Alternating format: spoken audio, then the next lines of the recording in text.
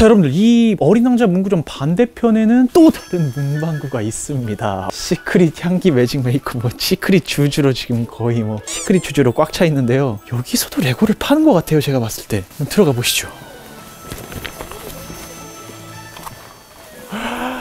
세상에 세상에. 들어가자마자 정말 엄청난 레고들이 저를 반겨줬어요. 마트에서 깔끔하게 정리된 레고들이 아니라 책 선반에 세로로 꽂혀있는 레고들 모습에 넋이 나갔어요. 이거 뭐야? 와 6869 퀸젯 1세대 아니야 이거? 우와. 저도 있어요 이거. 집에 있어요. 와 이거 진짜 오래된 건데. 얘가 한때 그 아 이게 진짜 비싸죠. 이- 근데 이제 주니어에 들어가 네. 버렸잖아요. 그래가지고. 근데 지금 또 비싸요. 주니어도 없으니까. 이 친구가 진짜 비쌌어요. 야 이게 남아 있네. 가격 19만 8천 원입니다. 정식 발매가가 한 13만 원 정도 됐는데 오래된 레고라서 지금 괜찮다 이거죠. 세상에 이거 보세요 여러분들. 와 마인크래프트 1세대 레고가 저를 반겨주네요. 이 친구가 정말 작은 스케일로 발매됐다가 인기가 많았는지 이후로 레고사에서 정식으로 마인크래프트가 출시되기 시작했어요. 거의 레고 마인크래프트계의 고조 할아버지 정도 될 것 같아요. 프렌즈 이것도 옛날 거다. 14년도 프렌즈입니다. 우와, 와, 헐크버스터. 요즘 찾기 힘든 제품 중 하나죠. 어벤져스 인피니티 워 때 출시된 헐크버스터도 보였어요. 아니 더 대박인 게 이거예요. 와, 배트맨. oh my god 추억의 레고가 하나 더 보이네요. 2016년에 발매했고 그 당시 멋진 배트카가 들어있어서 오프라인에서도 잘 안 보이던 제품 중 하나였었죠. 지금 이 정도 가격이면은 충분히 어, 카드 결제도 되니까 구매할 만 하네요.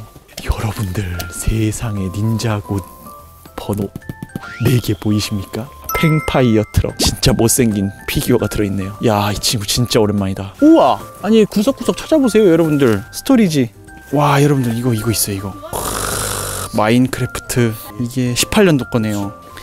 여러분들 키마입니다 키마 닌자고가 할아버지라면 할머니 격인 키마 레고를 발견했어요. 그 당시 애니메이션도 함께 방영해서 닌자고만큼 인기가 많았던 제품인데 아무래도 닌자고의 판매량이 밀려 점차 시들해지더니 지금은 자취를 감춰버린 비운의 제품군이었죠. 바로 옆에서 2013년도 배트맨 레고도 발견했어요. 조커가 들어있고 롤러 중장비가 잘 나와서 그 당시 인기가 있었던 제품이었죠. 자, 와 마인크래프트 요 문구점엔 마인크래프트 제품이 상당히 많이 보였어요. 21134 제품인데 2017년도 출시된 제품이에요. 아까 봤던 마인크래프트 할머니 제품만큼 rare하진 않지만 그래도 시중에서는 지금 찾아볼 수 없는 진귀한 제품들인 건 틀림없어요.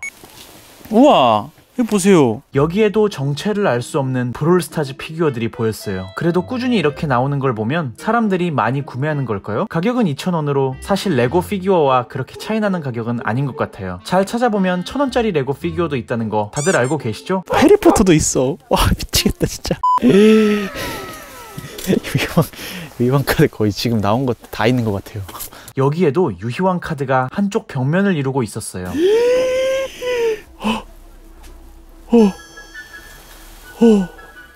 Oh my god.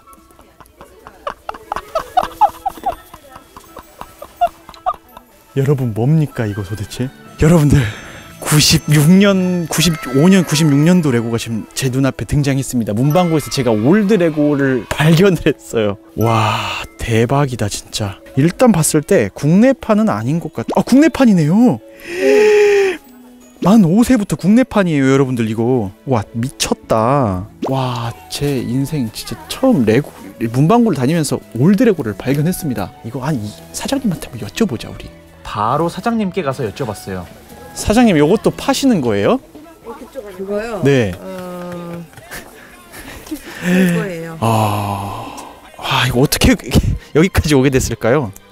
우리 집에 있은 지 꽤 되는데. 그쵸 이야 대박이다 사장님 그 교대역 거기 가면은 그러면 사장님이 같이 하시는 거예요 거기도? 사장님께서 교대역 근처에도 문방구를 하시는데 거기엔 오래된 레고들이 더 많이 있다고 말씀해 주셨어요. 기쁜 마음에 들떠 브리키님과 바로 그쪽으로 이동해 보기로 했어요. 과연 아까 발견한 old 레고만큼 조상님 레고들이 저를 기다리고 있을까요?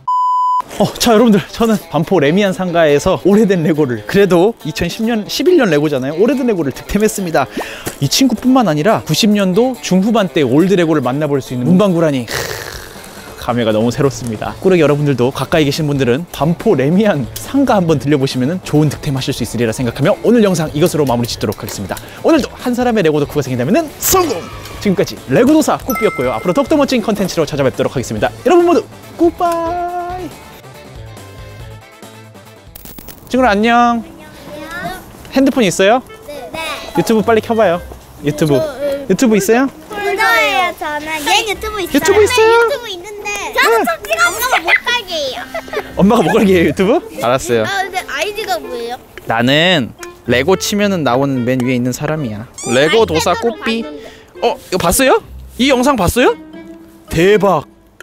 구독자네요? 구독 눌렀어요? 알았어요. 전 거예요. 누 구독 눌러주셔야 돼요. 찍어주세요.